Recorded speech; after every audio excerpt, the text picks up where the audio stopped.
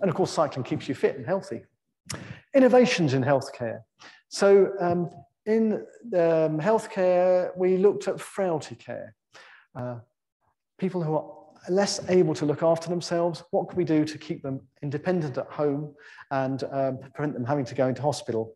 And we put together a team and uh, involved social and um, healthcare, which was quite innovative at the time. This was probably uh, hmm, 10 years ago now.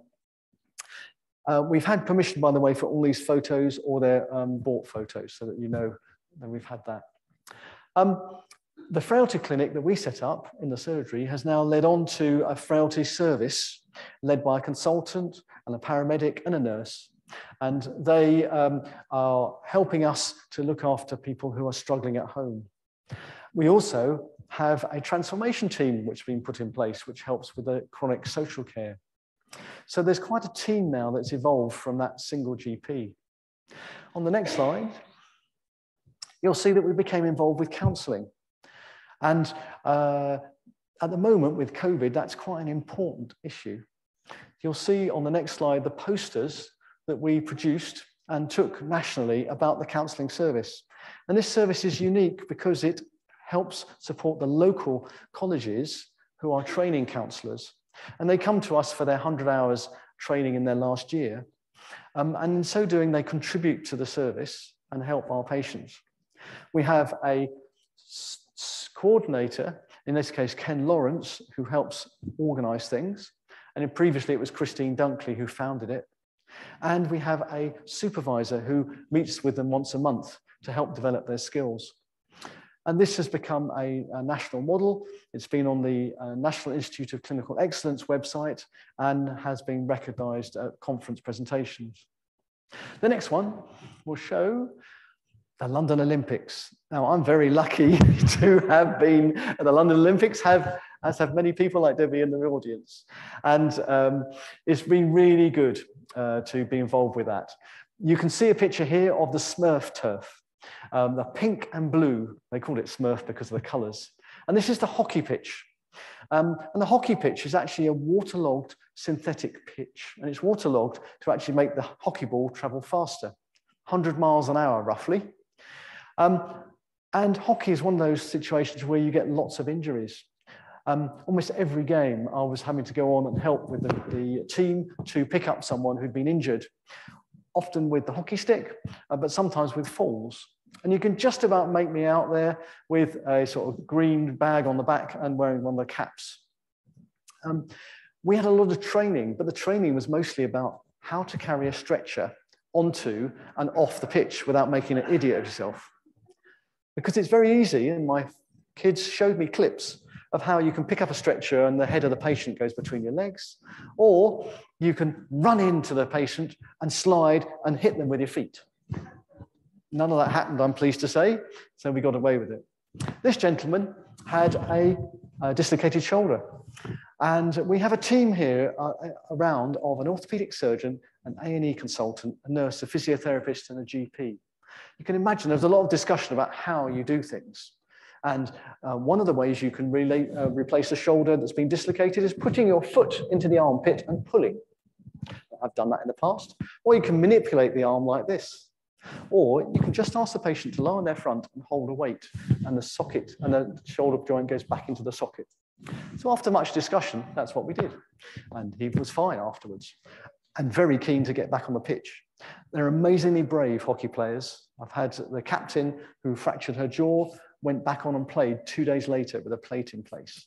Um, and when we were stitching people up, they were saying, please, quick, quick, quick, we want to get back on the pitch. Yeah, so it's amazing, really good team. And it was a great experience, wasn't it? Yeah. So um, next slide. This led on to the community games and um, uh, people here have been involved with this on, an annual basis, and the aim was to promote um, uh, physical activity. Uh, and the surgery and the PPG um, uh, contributed people to these games, and uh, we helped with the first aid stand in particular with our uh, nurses uh, and, and, team members. At the same time, we also were involved with the St. Francis Cafe, which helps support people. There was the Health Walks prescription scheme. There was the Arts prescription scheme, which is still going, thanks to our local GP, Peter White. And there was a books on prescription, health books this was. So there's lots of innovation happening at the time. And on the next slide, I want to move on to the consultations themselves now. We have seven minutes face-to-face for a consultation. Now, it's a 10-minute appointment slot. When I started, 1991, we had five-minute appointments and seven-minute appointments. Now the national average is about 12 minutes. It depends on which area you're in, 9 to 12 minutes. We have approximately a minute or so at the start to look at the records and see what's happened in the past and work out what needs to be done today. At the end, we have another minute or so to uh, do the tests, do the investigation, write the referrals, and write the notes. So you can see it's quite tight to get the consultation in place. And we want to listen. We want to have a gold minute of listening if we can. We want to examine. We want to help share the options. We want to help share the management. And those things about sharing the options and sharing the management are things that have come in over the last 20 years when you compare it to the 90, well, probably 1897, when it was very much the doctor said. Now it's very much a shared approach. On the next slide, you'll see that we looked at ways we could make the consultation more efficient. And there's the thing called ICE, ideas, concerns, and expectations. Now, the consultation is a bit like an iceberg. People come in with the one thing, and actually, there's a lot of other things they want to talk about or relate to it.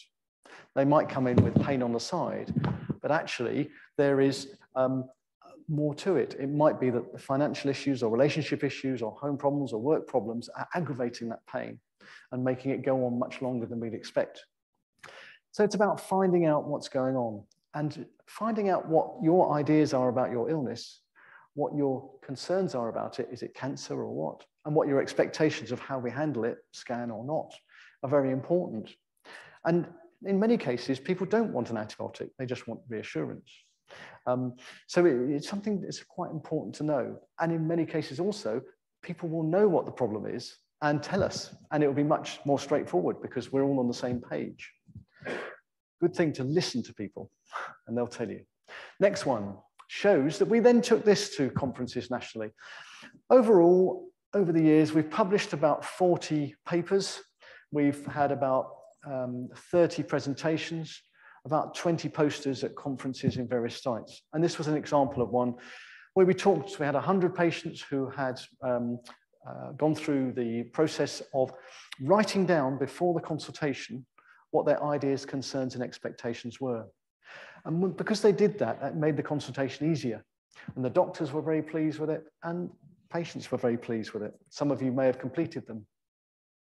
It won a national award because it was quite innovative in, a, in approach. And um, now it's been superseded by eConsult, which I'm sure you've all been so excited to use. Uh, eConsult is going to be superseded. I'm hoping that those ideas, concerns, and expectations will come back in more clearly and it'll be more simple and straightforward. On the next slide, and the next one, we got stuck somehow.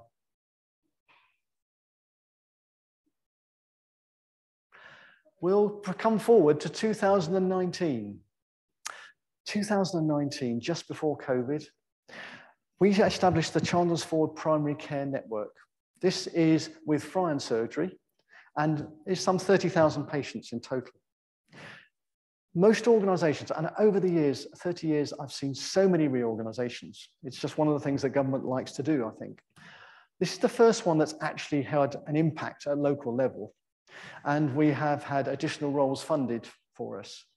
Um, we've had a social prescriber who looks at um, benefits for an individual, financial support, looks at how they can maintain their independence at home, and supports the carers for them. We've had a first contact physiotherapist that you can book in directly to for your aches in the shoulder or back. That's Joe Jenkins. It's Julie Bithell, who's the social prescriber. And um, we have a pharmacy team now who are doing those thousands of prescriptions I mentioned. We are also having a mental health nurse who's going to be joining us, or in fact has already joined us in the last few weeks to help with the increased workload that's hit us with COVID. And we have paramedics joining us to help with our visiting. So there's lots of new roles coming on board. The team's expanding. We have some 55 people now employed, as opposed to the one GP in the start. Some roles, however, have changed, and we used to have our um, health visitors, community nurses, and midwives all in the surgery. Unfortunately, they've all been taken away and moved to more central resources. So, benefits and disadvantages there. It's during this time that the surgery had a chance to talk, uh, or I, I, was involved in Radio Solent, and we did a few talks on uh, teenage exam stresses, um, mental health.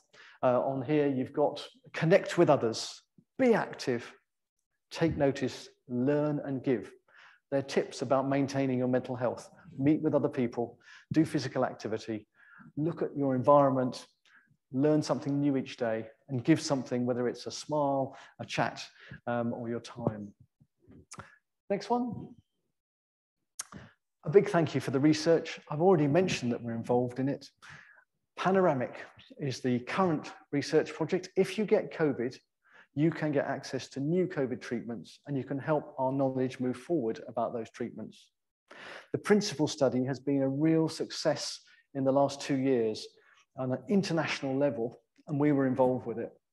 This looked at existing medications, and we showed that antibiotics didn't help COVID. It showed that inhaled steroids used for asthma does help COVID infections and reduce complications. It showed that some of the treatments that President Trump took, it doesn't help. Hydroxychloroquine, no. Washing out with Dettol, no. That wasn't in the study. We have more recently looked at contraception devices, and I've been involved with some papers looking at ways of um, uh, cutting the threads that come with contraceptive devices in the womb, at ways of providing analgesia beforehand, uh, prior application. And we've been involved with continuity of care. Um, uh, I've led as part of a national project with five sites across England, looking at ways we can improve continuity for half a million patients. And the results have come out now and shown there is an improvement in continuity. And as a practice, we strive for it, although it might not seem like that at the moment with COVID and all that's happening. And thank you for your involvement with COPD, chronic obstructive pulmonary disease, if you've been involved with that, you've had additional inhalers and we've shown the benefits of those. So lots of research activity. And the next slide. So looking back 1990 to 2020, we have less emergencies. I get called out to less emergencies than I did when I started in practice. In practice, I would be seeing a heart attack or a stroke every week. I might be resuscitating somebody uh, every few weeks. That has not happened to me for several years now. And partly that's prevention, and partly that's because the ambulance service is responsive and we have rapid treatments. We can now dissolve clots that cause strokes and heart attacks. I couldn't do that um, when I started out. I used to look after people at home um, if they had a heart attack or a stroke in many cases. The treatments, however, have become more complex. And we're handling a lot of stuff that was handled in the hospital. In fact, most things are handled by us now. Um, the appointment numbers you'll find have increased and the duration has increased, but it might not seem like that because we're getting so much more work from the hospital. We now have out of hours support and we now have a, visit, a visiting service in place in response to COVID as much as anything else. And we've had an expansion of our practice team. I said 55 at the moment. Chronic disease has moved to us. We do all the asthma care and the diabetes care, for example, all, all done in the hospital. And at the same time, the government has increased our targets. Anything they can measure, they'll set as a target. They've stepped back a little bit with COVID, but there has still been that issue. And that tends to divert us from what we feel is the most important bit, which is discussing things and talking to the patient in front of us. Expectations have risen, not only amongst ourselves as patients, but ourselves as doctors. Uh, we want to do more and can do more, and uh, patients expect more. Next slide.